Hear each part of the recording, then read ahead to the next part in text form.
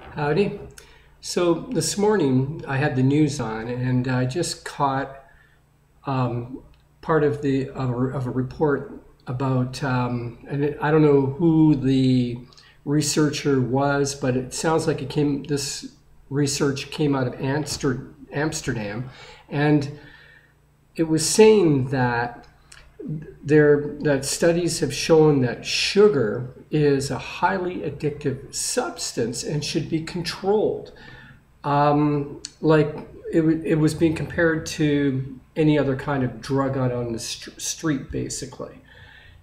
Now, if that were true, why do why do we not have people um, buying bags of white sugar and snorting it or injecting it to get a you know, a direct fix from this highly addictive substance like cocaine or heroin. Um, you know, you'd think that would be the case. People would be so addicted, you'd have real sugar addicts. You don't see that though, do you? I mean, do you know anybody who's a. There might be cases of pe- some people out there like that, but the reality is, if there's any kind of sugar craving, it has to do, it's usually the sugar is ingested with a combination of fat, like in the form of cakes or in donuts, right? So, you know, these studies, I don't know, they're so far fetched.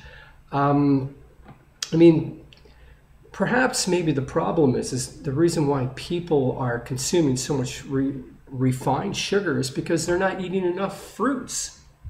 Hmm, there's a possibility. Think about it. I mean, that to me makes a lot more sense. But I don't know.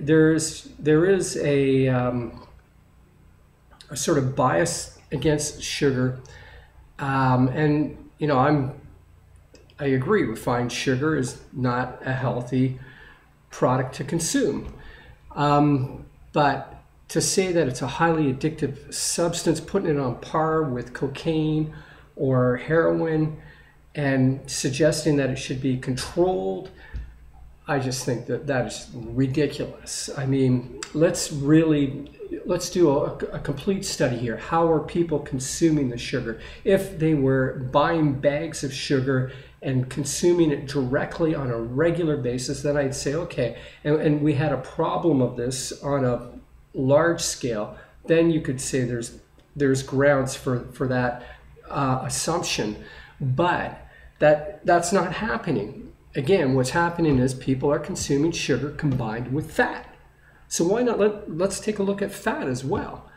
Um, and then let's take a look at how much fruit these people that are consuming a lot of sh- high sugar, high fat foods, how much fruit are they consuming as well? And you probably would find that their fruit consumption is very low. The reality is, is I mean, I'm no nutritionist, but from what I understand is that every cell in our body uses sugar, glucose, as a source of energy, not fat, not protein.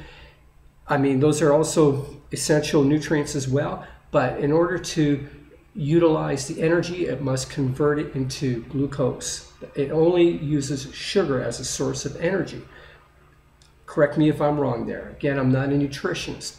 So it is understandable that if you're not eating enough fruits, you're going to need to get that sugar fix because you're low. Your body needs it for energy.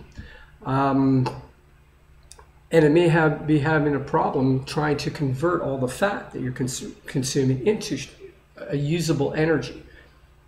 That's my theory, anyways. Again, I'm not a I'm not a certified nutritionist, um, but I'm just using my common sense here, okay?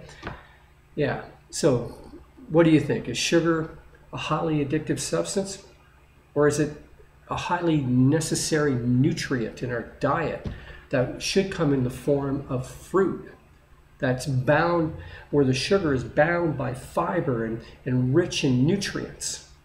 Anyways, have a great day. God bless and peace be with you.